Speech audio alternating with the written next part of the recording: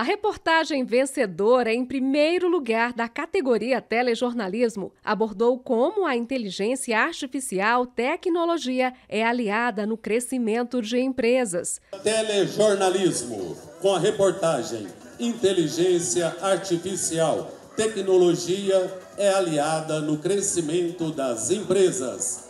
Wanda Oliveira, Record Goiás.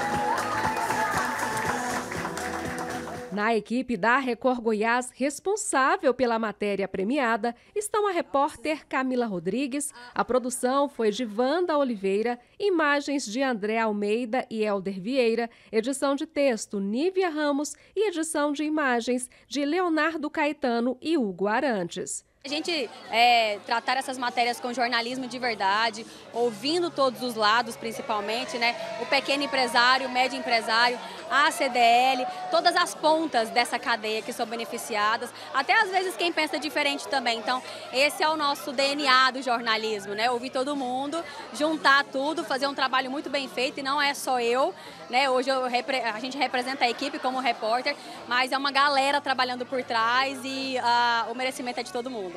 Essa foi a sexta edição do Prêmio CDL Goiânia de Jornalismo, que também reconheceu reportagens nas categorias de impresso, rádio e web. A gente vê esse trabalho aí com muito sacrifício, a gente sabe que não é fácil é buscar notícia, tem dificuldades, tem, tem, tem percalços, é, mas a gente sabe que o trabalho, é, a sociedade não vive mais sem, sem notícias, principalmente notícias verdadeiras. A premiação é recebida como uma homenagem aos profissionais do jornalismo que enfrentam desafios diários para que um conteúdo de qualidade chegue até o público. A busca do tema, isso é muito é, trabalhoso e mostrar um assunto assim tão importante no dia a dia e levar esse prêmio em primeiro lugar é de grande importância para a emissora. A gente fica imensamente feliz, orgulhoso da equipe, né?